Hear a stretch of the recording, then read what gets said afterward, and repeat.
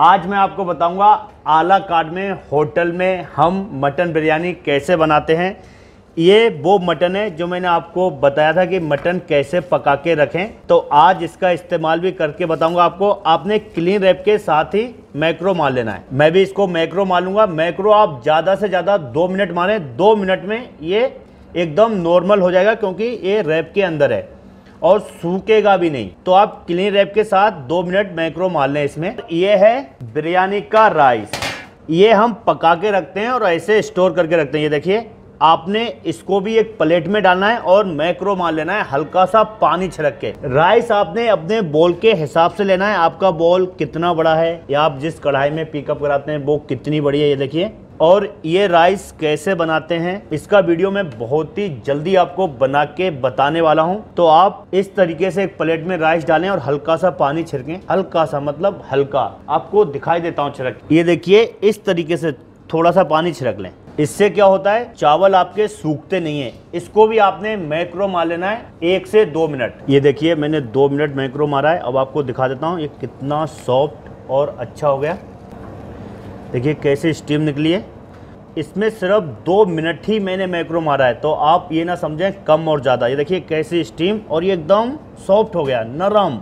Macro में डालने से पहले इसमें बर्फ़ जमा था। ये चीज़ भी आप ध्यान रखें, अब एकदम सॉफ्ट हुआ है। ऐसा लग रहा है ताज़ी पकाया है, क्योंकि क्लीन रैप के साथ मैक्रो मारा है, इसलिए। आपको ये अगर अनहाइजीन लगे तो आप डब्बे में या फिर प्लेट में निकाल के मैक्रो मार सकते हैं, वो आपकी मर्ज़ी है। और इसमें मैंने एक मिनट मैक्रो मारा है एक मिनट में राइस हल्के से गर्म हो जाते हैं तो आप एक मिनट मारें, वो काफ़ी है, क्योंकि हमने पैन में भी गर्म करने हैं राइस। इससे क्या होता है, हल्के से सॉफ्ट हो जाते हैं और अच्छे लगते हैं। ये वीडियो उन सब लोगों के लिए जो होटल में काम करते हैं और आला काट खाना बनाते हैं और जो मेरे फैमिली मेंबर बाहर हैं, जैसे कनाडा, अमेरिका और वो नए नए इंडस्ट्री में आए और उनको पता नहीं है कि आला कार्ड में कैसे बिरयानी बनाते हैं। तो ये वीडियो उन सबके लिए है। तो आपने वीडियो पूरा देखना है, स्क्रिप कर करके ना देखें, नहीं तो कई चीज़ें आप मिस कर जाएँगे और आपको मज़ा नहीं आएगा फिर। आपने लेना है एक ऐसा पैन और इसको अच्छे से गर्म कर लेना है। अगर आप नॉन स्टिक में बना रहे हैं, फिर भी आप अच्छे से गर्म कर लें। गर्म करने से क्या होता है? चावल नीचे चिपकते नहीं है। अच्छी तरीके से गर्म करने के बाद आपने इसमें डालना है देसी घी।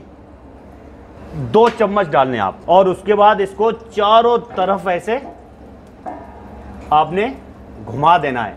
मतलब पैन में चारों तरफ़ घी लग जाए। थोड़ा सा हिट भी कर लें मतलब अच्छे से गर्म कर लें। उसके बाद क्या करेंगे, मैं आपको बताता हूँ। घी अच्छे से गर्म होने के बाद आपने इसमें डालनी है दो इलायची थोड़ा सा जिंजर गार्लिक पेस्ट। इसको आपने अच्छे से ऐसे भून लेना है।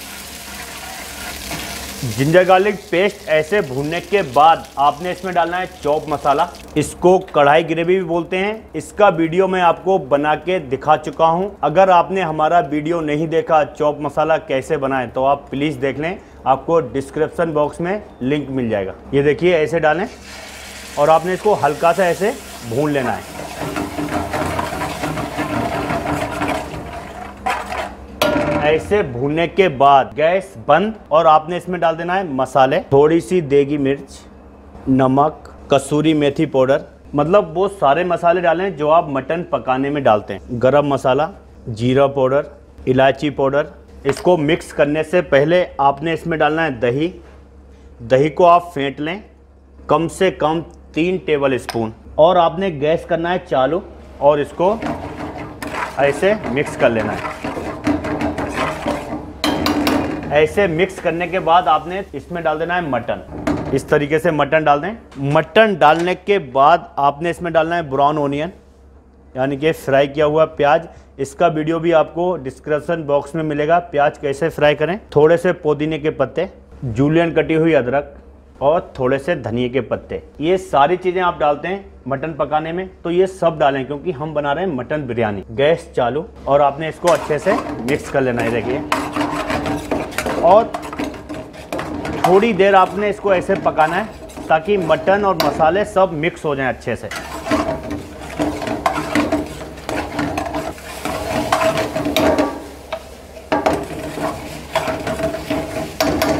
ऐसे मिक्स करने के बाद आप एक बार टेस्ट कर लें। वाह, मज़ा आएगा आज। अभी से इसमें बिरयानी की खुशबू आने लगी। अब आपने कर देना है गैस बंद। और ये देखिए कितनी अच्छी तरीके से पका है ये चीज़ का भी आपने ध्यान रखना है। ऐसे ही पकाना है और पानी ना डाल दें आप। उसके बाद आपने इसमें डाल देना है चावल। चावल डालने के बाद फिर से आपने पुदीना डालना है। फ्राई की हुई प्याज। ये दो चीज़ें आप फिर से थोड़ी थोड़ी डालें। और एक चम्मच देसी घी। थोड़ा सा गुलाब जल। थोड़ा सा क्योड़ा वाटर ये दोनों चीज़ डालने के बाद आपको पता है, चावल भी गर्म था हमारा, मटन भी गर्म है, ग्रेवी हमारी सेट हो चुकी है। अब आपने क्या करना है? गैस करना है चालू और इसको मिला लेना है अच्छे से। ये देखिए।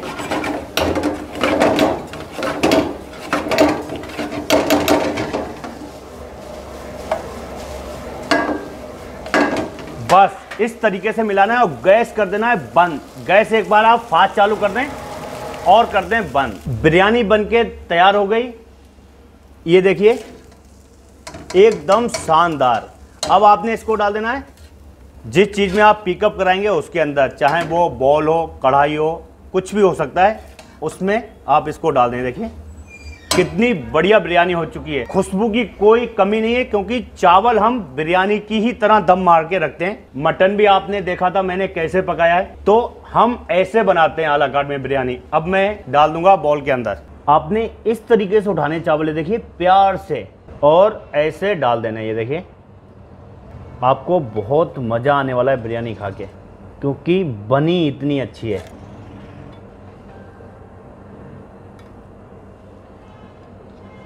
अब हम इसमें करेंगे गार्निश गार्निश करने का आपको तरीका बता रहा हूँ। आपने इसमें डालने पुदीने के पत्ते, तोड़ के डालें।